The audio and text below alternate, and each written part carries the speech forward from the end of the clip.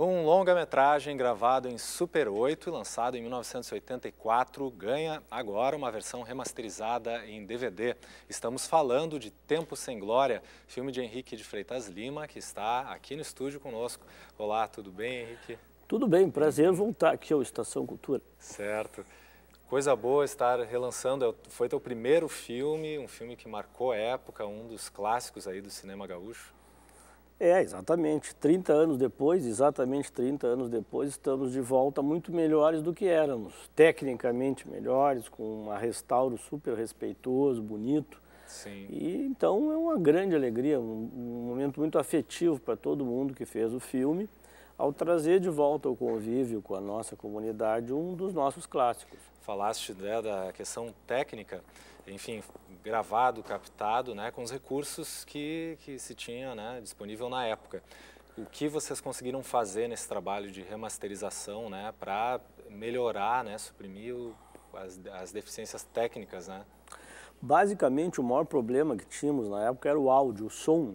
Aliás, o sistema brasileiro como um todo ficou muito tempo vinculado à ideia de que tinha problemas de áudio.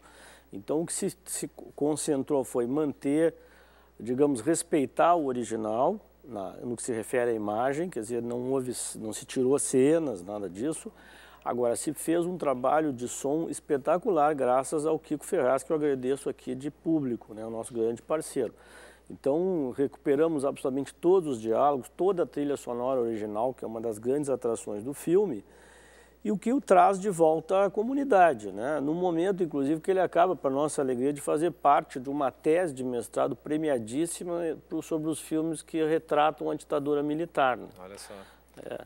Nós estamos vivendo né, tempos de, de, retomar a memória, de saber né, a, a, verdade sobre o que ocorreu no período militar. Vamos falar então sobre o, o enredo, né, que história é essa? Começa na campanha, Santana do Livramento, é, depois vem para a capital. Basicamente, o que o filme conta é o rito de passagem da adolescência, digamos, para a idade juvenil, né, de um menino de campanha, de um rapaz nascido no campo. Nós estamos vendo algumas imagens dele aí, é, lá em Santana do Livramento, e que depois de, de, digamos, de fazer o que é possível na escolinha da campanha, ele vem para Porto Alegre. Então, o filme começa em 1 de abril de 64, né?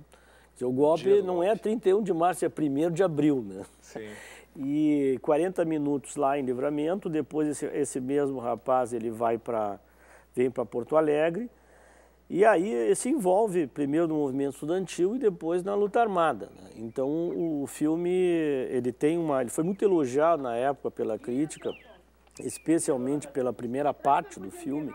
Eu digo sempre que o maior elogio que eu recebi no início, que na carreira de um grande crítico de cinema nosso que já faleceu, que diz que o filme tinha momentos fordianos, né? E ele se referia ao John Ford, então isso me deixou muito envaidecido na época. Com certeza. e achei que eu podia tentar a vida nessa, nesse segmento aí, né? Então, vocês veem que a imagem em Super 8, né, ela tem essa textura que vocês estão vendo aí na tela, e que é uma que virou um pouco um charme do filme, né? Que claro. ele, mas as pessoas até agora que já viram, inclusive na Sim, primeira ele, sessão... A primeira sessão foi em livramento, dia uhum. 11 passado agora, estão encarando assim, elas acham um charme isso. Ninguém está preocupado que o filme foi em Super 8 ou não, o que nos deixa muito satisfeitos, né? Legal. É, o tempo, na verdade, da, da restauração, uma série de questões administrativas, acabou nos ajudando porque a tecnologia foi melhorando cada vez mais. Né? Ah, olha só. Bom, a sessão em Santana do Livramento te fez lembrar um pouco da sessão lá em 1984. Tu, né, era, um, era outra época, tinha que levar embaixo do braço o rolo, fazer a projeção, né, tu mesmo. Como foi voltar né, com esse filme no mesmo local? Pois é, a gente eh, ficou seis semanas em cartaz na Sala Cultural da cidade e colocamos seis mil pessoas quando a cidade tinha 30 mil coisa absurda, né? o volume de pessoas interessadas. E era característica dos filmes dessa época exibi-los como se fosse teatro, de quinta a domingo. Né? E como existia só o filme, não era possível fazer cópias, o próprio diretor eh, fazia às vezes de projecionista, quer dizer, se alguém estraga o filme, que seja o diretor. Era mais ou menos essa a lógica, né? Sim. Então, um tempo de guerrilha, né? Muita gente hoje nem sabe o que é Super 8, pessoal. Era cinema mesmo, bem fininho, película, né? e eu digo para o pessoal da nova geração entender, era assim, a mesma aquela coisa da ideia na cabeça de como é que eu vou me expressar. Hoje o pessoal faz com o celular, faz com uma câmerazinha simples, digital. Naquela época nós começamos fazendo em Super 8, uhum. Que era cinema mesmo, né? Com, com, cortava o filme, montava direitinho. Sim, fez uma boa carreira o filme na época recebeu o Kikito em Gramado como melhor filme em Super 8, esteve, eh, foi exibido em Montevidéu, em São Paulo. Com certeza, nós uh, foram 145 projeções naquele ano de 84 que envolveram essas cidades, né? E, e, tinha uma, pela questão da, do fim da ditadura militar no Brasil, que, que, no, que mais ou menos no Uruguai demorou mais ainda, pelo fato de ter na trilha artistas como Alfredo Citarrosa ou Daniel Vigletti, que eram grandes ícones no Uruguai, chamou muita atenção lá, né? E incentivou pessoas que estavam fazendo filmes naquela época lá. Então é, é momento assim de, de, de, grande, de grande emoção para todos nós que fizemos. Eu acho que todo mundo daquela geração que ainda permanece aí trabalhando. Né? Eu queria uma homenagem aos meus colegas de cinema também, que começaram naquela época. Sim. Uh, é, esse trabalho né, de recuperação, esse lançamento faz parte de um grande projeto que é a coleção Cinemateca RS. Como tu vês esse projeto, né, a importância de trazer filmes que né, não foram lançados comercialmente né, em DVD que a gente não teria acesso hoje para revê-los e tu foste contemplado e está lançando o teu filme. Olha, eu acho, tenho dito inclusive para o secretário Roque Jacob, que hoje é o secretário de Cultura de Porto Alegre, que este, entre tantas, enfim, entre tantas, entre tantas atividades e projetos que a nossa prefeitura desenvolve, eu considero do ponto de vista do cinema um dos mais importantes. Quer dizer, nós somos o sexto título já de uma coleção que faz exatamente isso, que traz ao convívio das pessoas que gostam de cinema filmes que não teriam como ser vistos, né? Então, ah, eu tô, tenho muito orgulho de, de, de, de Tempo Sem Glória ter sido incluído, foi um processo longo e que vem no momento em que a cidade se prepara para receber a Cinemateca, a Cinemateca Capitólio, de vez, né? Tudo indica que nós vamos ali no Cinema Capitólio, ali no centro de Porto Alegre, e Cinema Capitólio, agora Cinemateca Capitólio, vamos finalmente ter um lugar, um acervo preparado para receber os originais dos nossos filmes e um templo voltado à discussão do audiovisual, com muita programação. Né? Que, aliás, Porto Alegre está de parabéns. Falávamos antes aqui, inúmeras oportunidades de cinema de todo tipo. A cidade está cheia de oportunidades. Né? A Estação um... Cultura de ontem foi praticamente todo sobre cinema é. para dar conta de toda essa programação.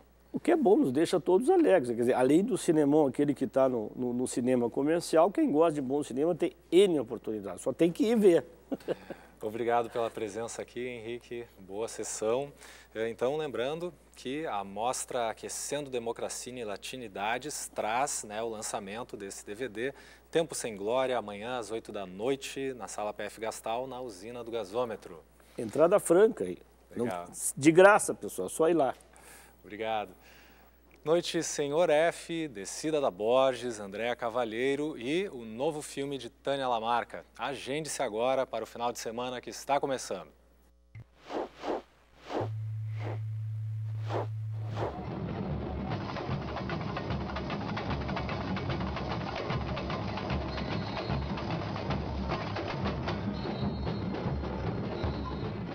Hoje, a partir das 20 horas, acontece a descida da Borges das escolas de samba.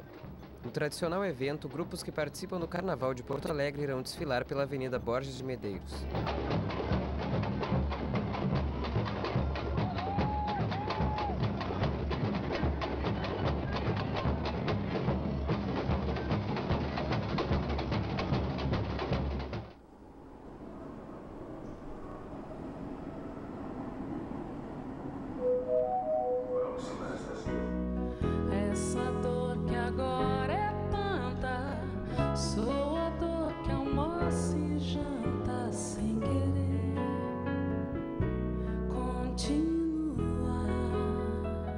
Cantora Andréa Cavalheiro faz show hoje no Bar Parafernália. A partir das 23 horas, André apresenta seu repertório de samba e MPB.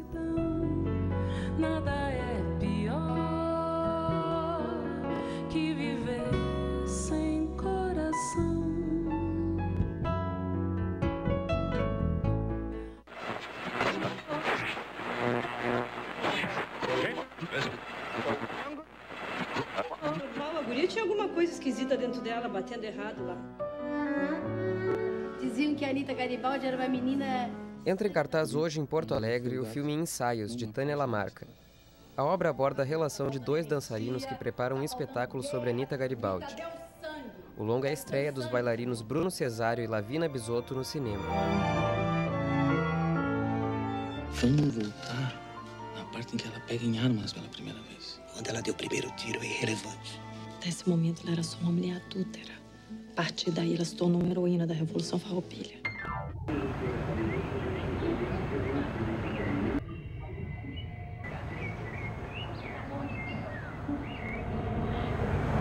Eu cuspo nesse café e você chora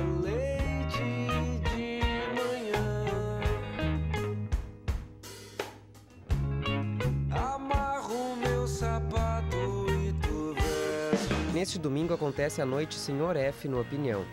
As atrações da última edição deste ano são as bandas Apanhador Só e Fonopop e a cantora Ana Muniz.